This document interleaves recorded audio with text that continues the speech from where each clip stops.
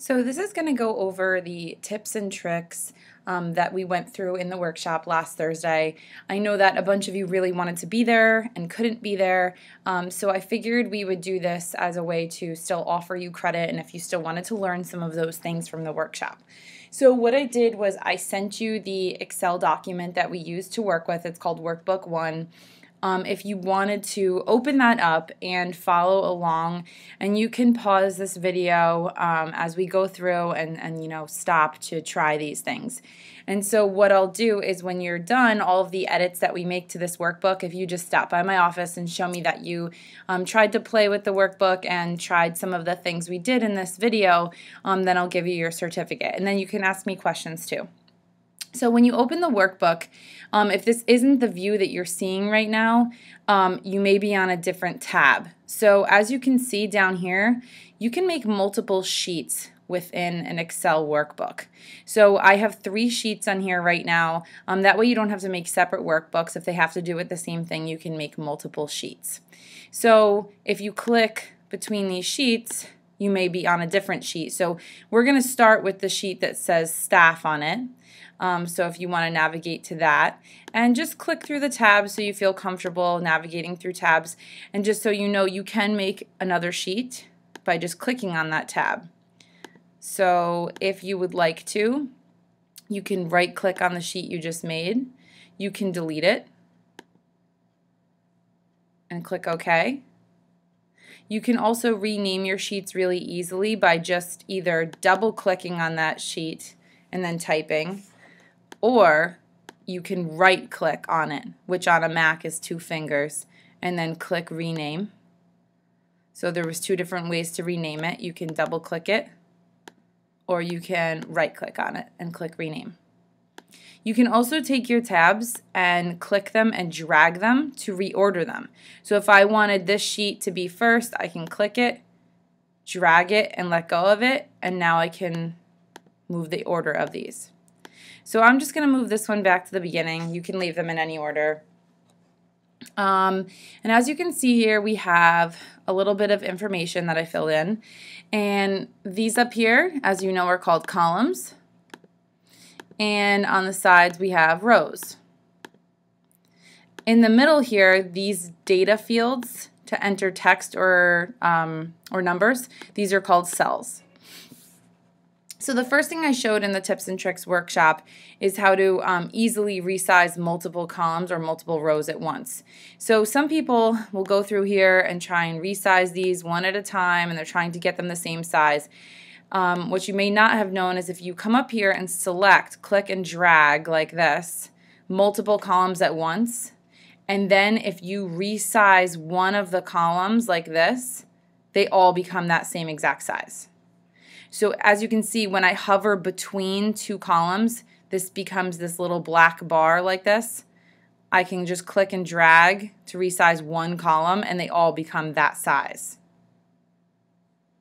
So same thing goes for rows. If let's say I wanted to make um, all of these rows a little bit bigger, if I select all of these rows by clicking and dragging down 2 through 12, and then I hover between row 2 and 3, let's say, and click and drag it, I've now expanded all of the rows all at once. And now they're the exact same size, which is nice.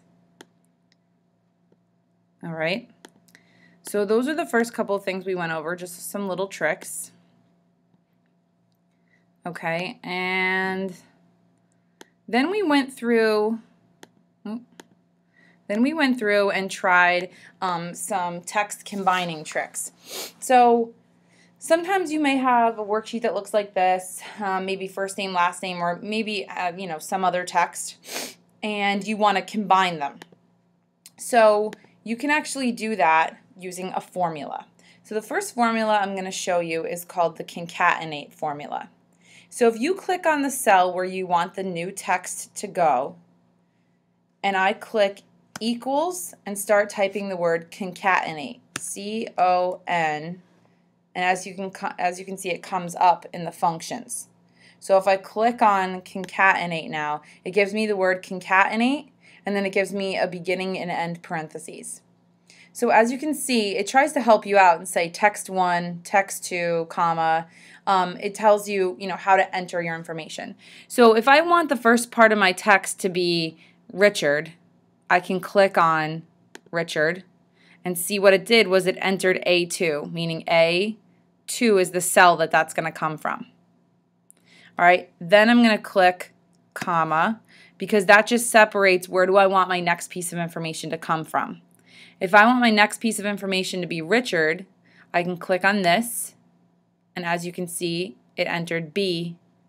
All right, now if that's all I want in there, A2 and B2, I can click enter, and it fills in Richard Popolizio.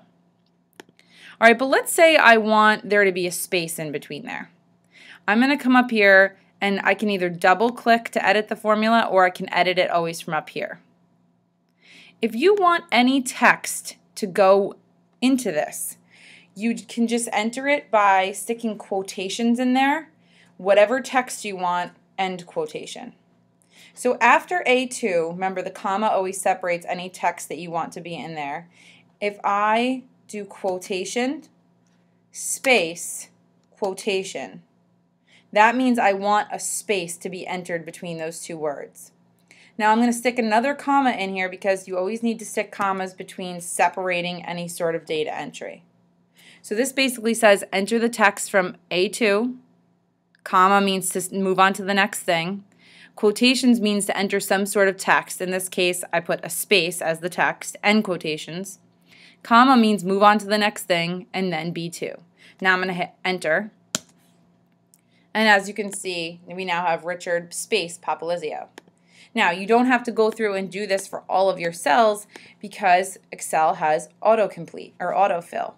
So if I click on Richard Popolizio, this, this formula I have in here, and I hover over the bottom right hand corner, I have this little black cross.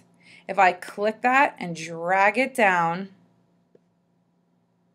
it has now filled in all of these accompanying cells down below and it takes them from the corresponding cells. So while you made this first formula come from A2, B2, it's going to take the second one from A3, B3 and so on and so forth. So it's going to pull them from the corresponding rows.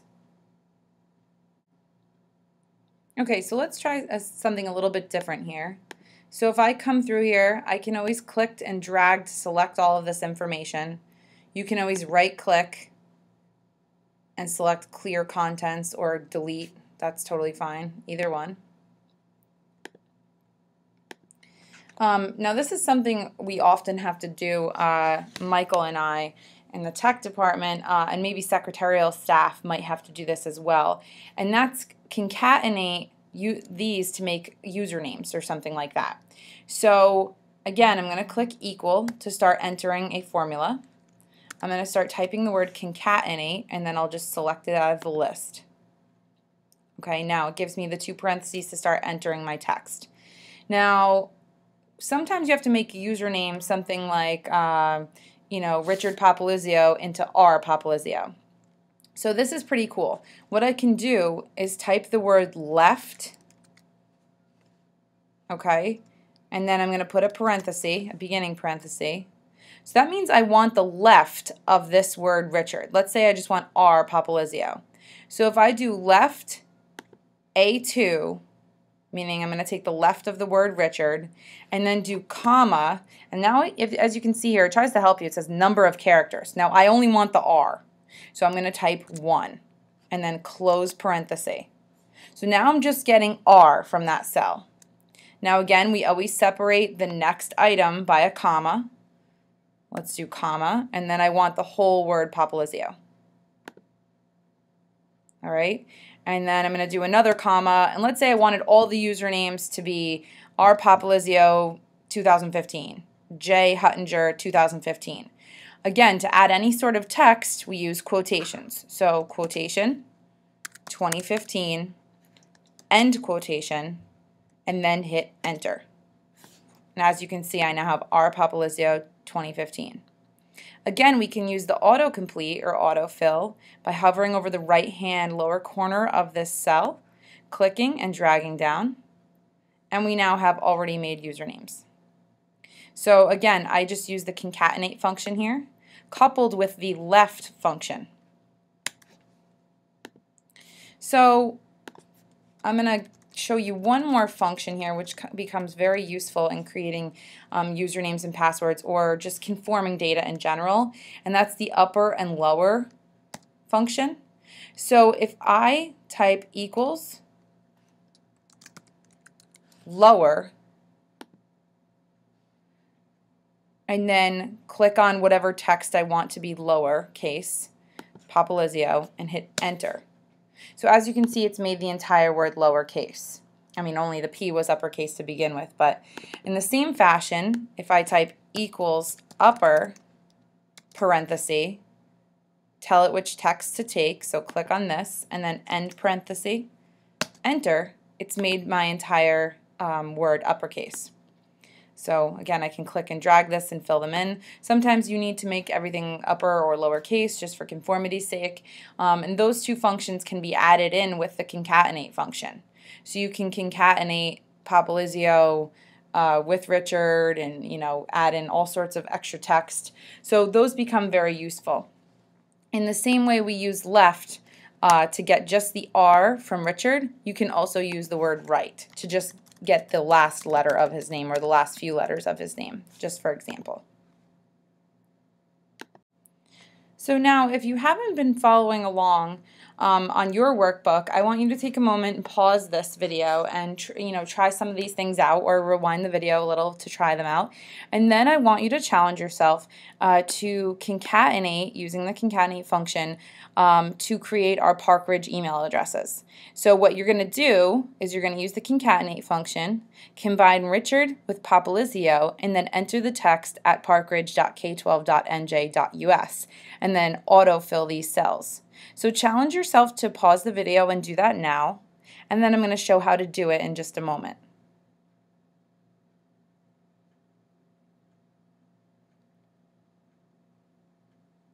So if you're stuck and couldn't realize how to do it, um, here's how we can accomplish that. So again, if I click on the cell right here and click equals, start typing concatenate, and I select that function. The first text in our Park Ridge email is first name, so I can click text one. Again, we always want to throw a comma in there to separate the texts. Okay, comma, the next thing in the email is Popolizio. Okay, insert a comma. And then the next thing is at parkridge.k12.nj.us, and this is the same for everyone. Now remember, to enter text that's not already in a cell, we're going to use quotation at parkridge.k12.nj.us. End quotation. And just hit enter. And there you have it. You have a staff email address and I can go ahead and auto-complete the rest of these. Okay, so let's move on to some other tips and tricks here. We are now going to look at some formatting. So you can use all of the basic functions that you have in Microsoft Word. So you have bold, italic, and underline up here. Okay, you also can come up here and change the size of the font. You can change the style of the font.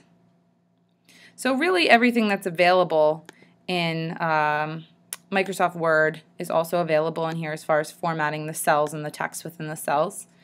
This is a really common one. Uh, some people would go to print this and not realize that there's no grid lines. So these grid lines, you see these crosshairs, they're just uh, for your workspace right now. Now, right now they're not going to print. So if I select the area I want to print, all you have to do to get those grid lines to show up is there's a little drop down box right here and you want to tell it where you want borders.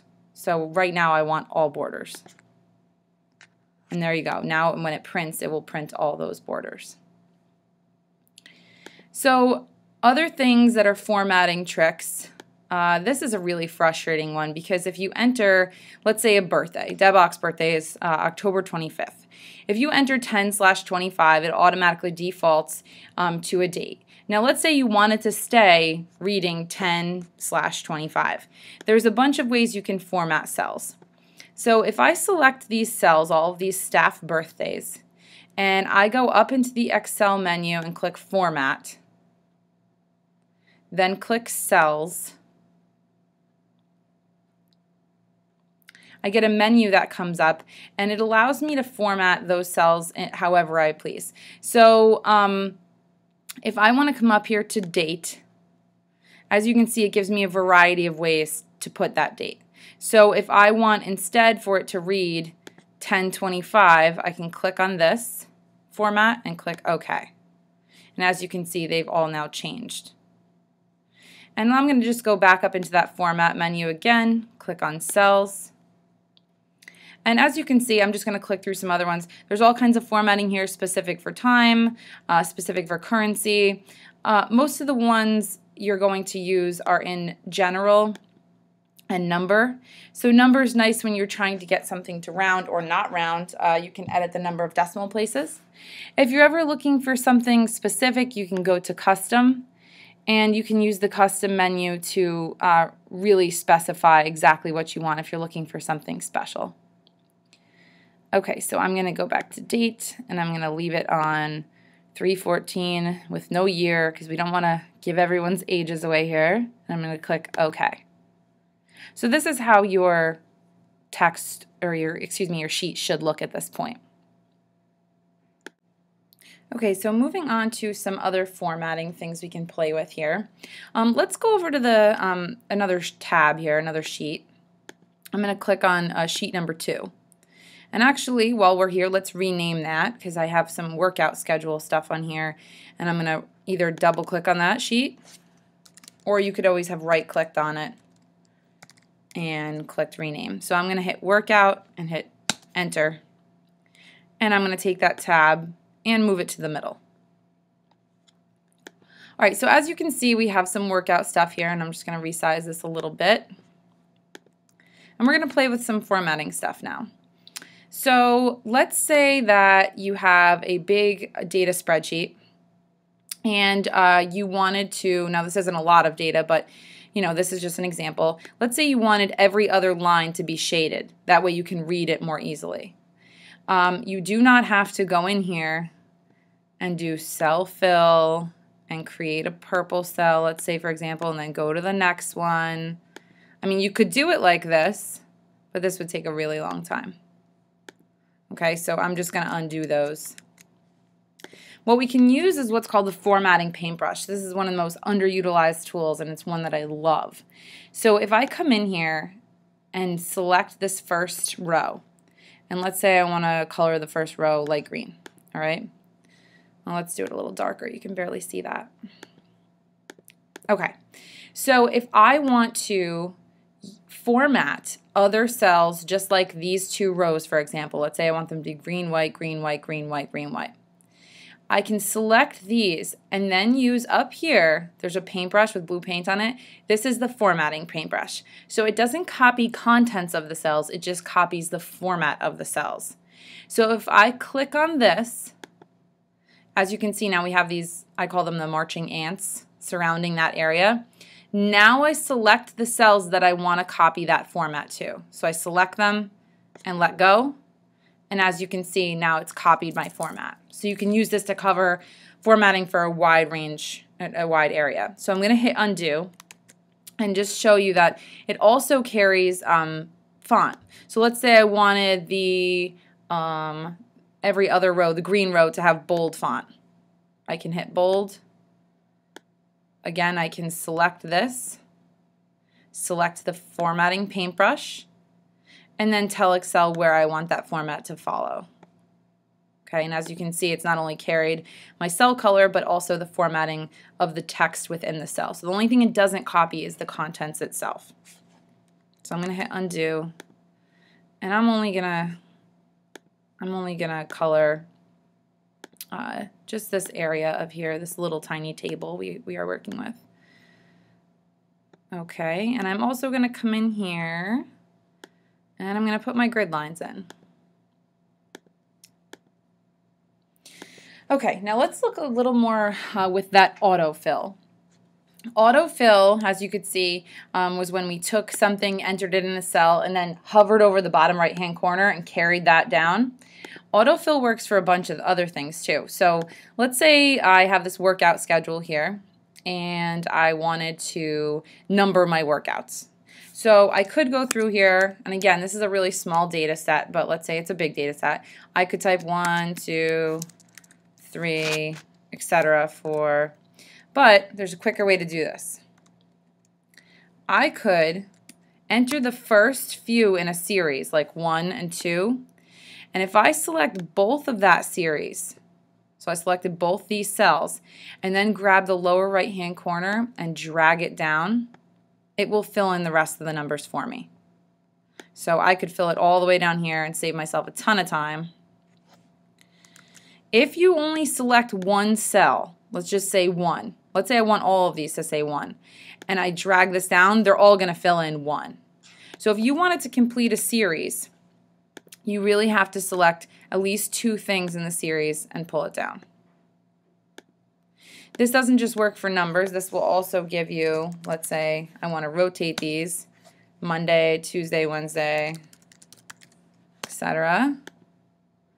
As long as I select two out of the series, drag them down, it will rotate Monday through Sunday. Okay, we can get the same thing for January, February. If I select the first two in the series, drag it down, I can get months. Okay, and this, this works for a lot of things. So that's a really neat little thing to try. It will also work if you go across. So let me just get rid of some of this that we have here. Okay, it will also work if you go across. Let's say I wanted to do across the top Monday to Monday through um, Sunday and, and rotate them. So if I do Monday and Tuesday, and I select both of these cells and then carry them across, it will autofill across as well. And same thing with 1, 2, 3 and the months of the year, and there's a bunch of them that work. So those are some auto completes. And let's go back here and, and fill back in Monday, Tuesday, Wednesday.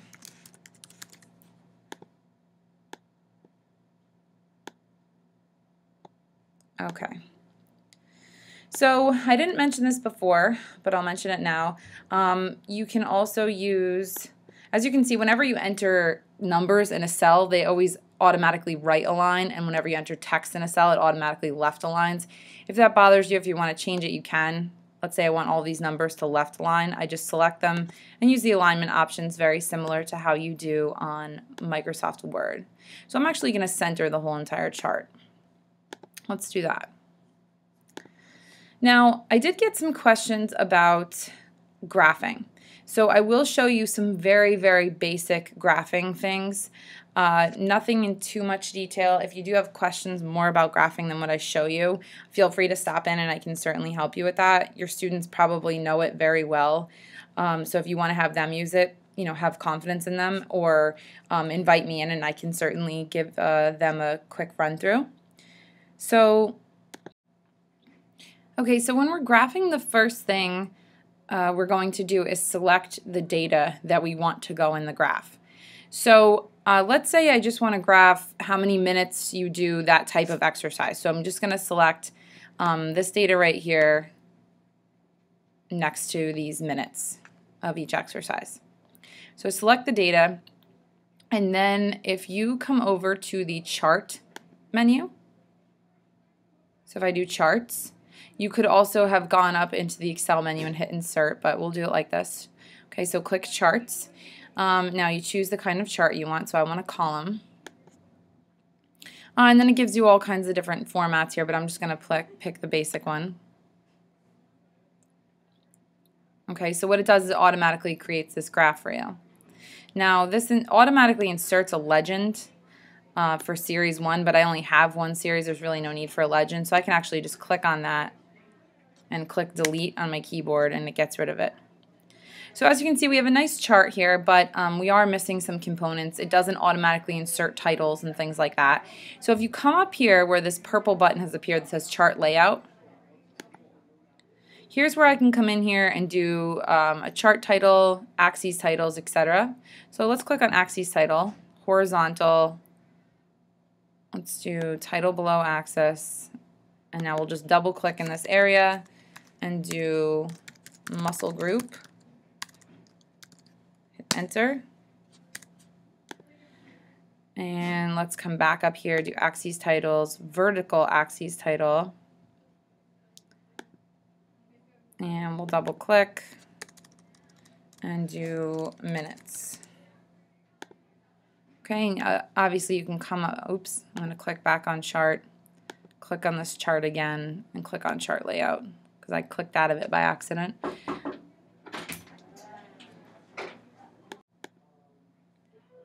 Okay, and now I can edit my title. And we'll just say Tina's workout schedule.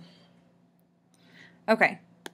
So go ahead and leave this graph in here so that, you know, I know you played with it. Uh, there's also other things you can play with in here. If I select um, uh, these bars and double click on them, I can get other uh, options in here. If I go to fill, I can do different colors of the, the bars and things like that. So I'm going to hit cancel. There's also easy chart styles if you just flip through them over here within chart layout. I can make the bars look 3D. I can change their colors and things like that.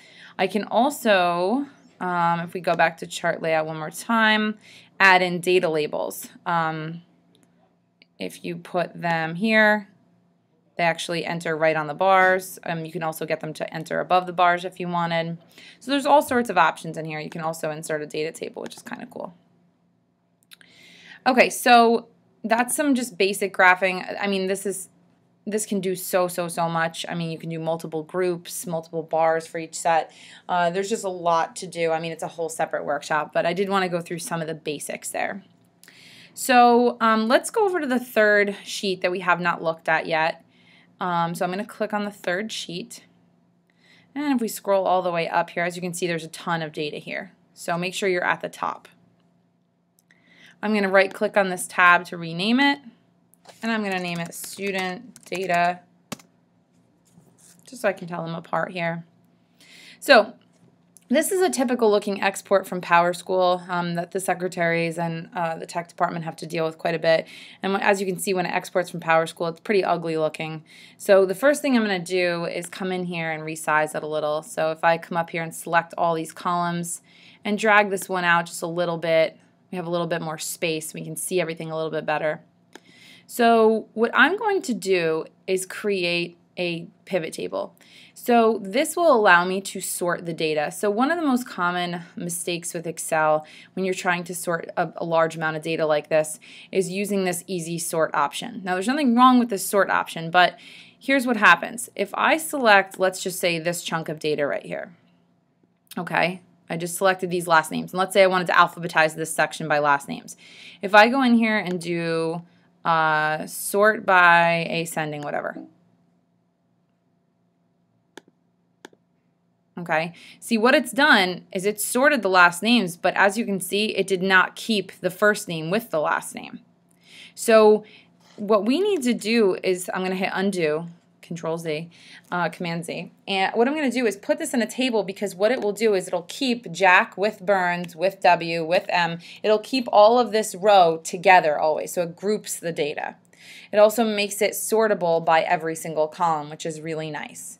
So let's go ahead and group it by selecting these six columns or seven columns. Now, I could actually go uh, eight columns, excuse me. Um, I could actually click and drag within the cells, but I have a lot of data here, so I don't want that'll take a long time to drag it all the way down. So you can just select all of the columns. It's much quicker like that. So now that you have your data selected, if you go over here to the Tables tab. Click on Tables. And all of these tables, these are just different styles. It doesn't matter. They all do the same thing. Um, they're just different formats. All of these will put um, these columns worth of data into sortable areas.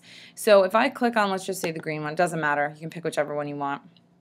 As you can see, it's created uh, column headers and it's created uh, some nice formatting so you can see your data even better. But more importantly, it allows me now to do a sort. So if I click on last name, now I can do sort ascending to descending, but it keeps the data together.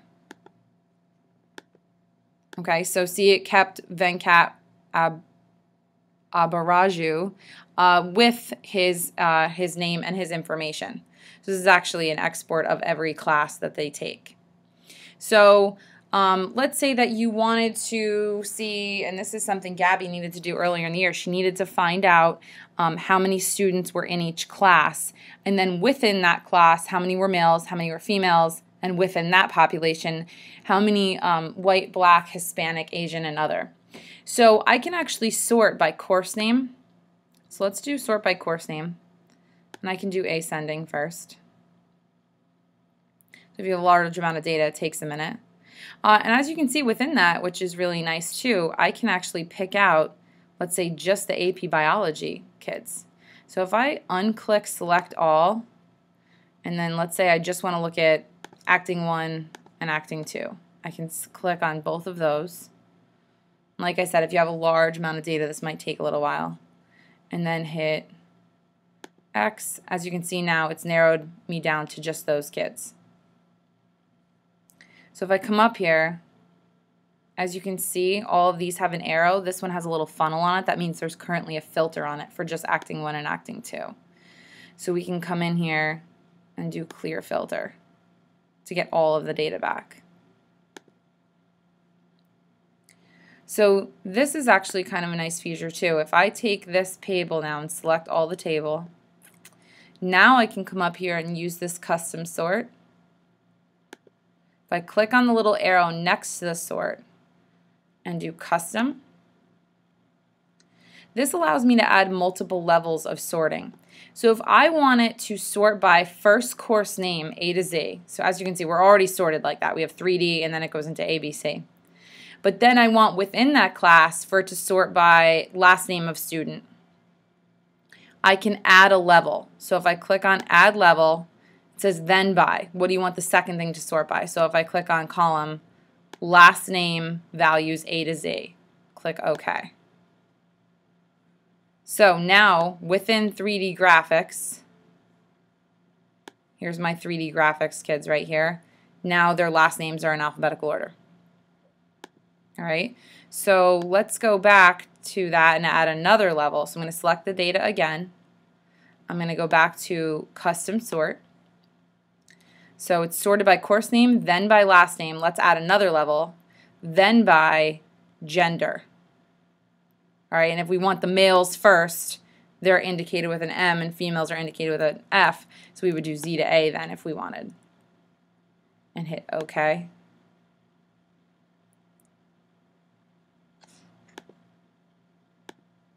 Okay, so now look at my 3D graphics kids. No, that's not a good example. There's no females in that class. All right, let's look at another class. Let's look at acting one. All right. All right, so as you can see, here's my, it's sorted first by acting one, then it's sorted by last names, then it's sorted by gender. All right, so I'm going to come up here and let's select the data one more time. And I'm going to put what's called a conditional format on this. So let's say you needed to quickly count um, Asian students in each class. If I come over here to uh, back to home, I can use what's called conditional formatting. These are some really cool tools in here. If I go to conditional formatting, highlight cell rules. These are really neat. So if I do highlight cell rules, if they are equal to, let's just click on that one. Let's say I wanted all these cells that have an A in them for Asian to uh, be light red. Okay? As long as I tell it which cell, so if I put in here A, and hit OK, now it's looking for all of those cells that have an A in them, and it's going to conditionally format them with light red fill. So you can do this with anything. You can do this with uh, text. You can do it with numbers. Um, as you can see, let's do this. I'll select this grade level column, do conditional formatting, and I'll do highlight cell rules greater than. And let's say I want all of my 11th and 12th graders to be um, yellow, okay? If I do greater than not, or excuse me, greater than 10, because I want 11th and 12th grade, and hit enter, as you can see, now we have all of our upperclassmen. Okay, so there's some really neat things to play with in conditional formatting, some, some cool stuff. Okay, so I'm going to show you another cool function, especially if you're trying to count cells that fall within a you know a certain criteria in a large data set. Um, so let's say um, I wanted to count the number of boys that are taking um, uh, accounting 1A. So we'll scroll down here to accounting 1A. All right, so if I click over here and click equals, then I can get access to my functions menu. So if I click or if I start typing count if and then select count if out of the menu, again it gives me count if and then it gives me end parentheses, start parentheses. then it, it tries to help me. It says, where's your range and what's your criteria? So the first thing it wants is the range. So here's all my kids taking accounting 1A, and I'll just select the gender cells. Okay, and that's, yeah, that's the accounting 1A kids. All right, so there's my range. Now it says comma, so I enter a comma, and then it wants the criteria. What's the criteria for counting the cell? So we only wanted to count the cell if it has an M in it for boys. So we actually use quotations again for this. So we do quotation M, end quotation, enter. So as you can see, it's now given me the number 10. So there are 10 boys taking accounting 1A. I can always double click this and come back in here and say, well, I really want to know how many females actually. So I can say the range is the same, accounting 1A, but I'm going to delete the M and put an F and enter. As you can see, there are three females taking it. You can also use the count if uh, to count numbers um, or ranges. So let's say we wanted to count the number of seniors in that class. Um, or count the numbers of 11th and 12th graders. Let's do that. That'll be tougher. Count if, give it the range. So we'll select the grade levels of all the accounting 1A kids, comma, enter your quotations to give it the criteria, and let's do the greater than sign and then 10 end quotation and close your parentheses. So this says within this range that I'm telling it, how many of these cells contain a number greater than 10. That's what it's saying. So I hit enter, and it's saying there are eight students over the sophomore level. So eight students that are seniors and juniors together. Um, this could be really helpful in your SGOs when you're looking at a large data set and you're saying how many students scored over a certain percentage. So you could use this and say, you know, how many students scored over 50% or 60% or whatever it is, and it'll count them, which could make your grouping potentially much easier. So if you have any questions about anything you saw in this video, I'd be happy to answer them. And if you come and show me your workbook and show me that you've completed some of the things we tried on here, I'd be happy to give you your certificate and give you credit for the class. And I hope you have a great day.